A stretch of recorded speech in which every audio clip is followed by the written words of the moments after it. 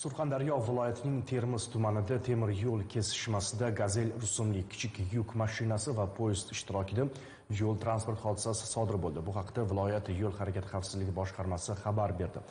Ma'lum qilinishicha holat 28 sentyabr kuni soat 16:40 da termiz baktriya temir yo'l bekatlari oralig'ida qo'riqlanadigan temir yo'l kesishmasiga poyezd yaqinlashayotganligi sababli avtotransport vositalarining harakati cheklangan vaqtda sodir bo'lgan. 1994 yilda tug'ilgan haydovchi gazel avtomobilida qoidalarni buzgan holda harakatlangan va temir to'siqqa urilib avtomobil ag'darilgan. Hodisa oqibatida elektrovoz tortib ketayotgan termiz darband shaharlararo qatnovchi yo'lovchi poyezdi to'xtab qolgan. Ko'rilgan tezkor choralar natijasida yo'lovchi poyezdi shu kuni soat 17:25 da harakatni davom ettirgan. Viloyat yo'l harakati xavfsizlik boshqarmasi xabariga ko'ra, hodisa oqibatida tan jarohati olganlar yo'q. Mas'ullar tomonidan holat bo'yicha surishtiruv harakatlari olib borilmoqda.